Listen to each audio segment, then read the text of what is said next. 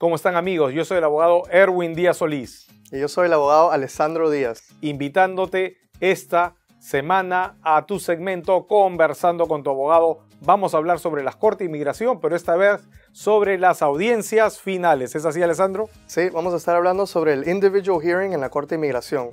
Nos vemos.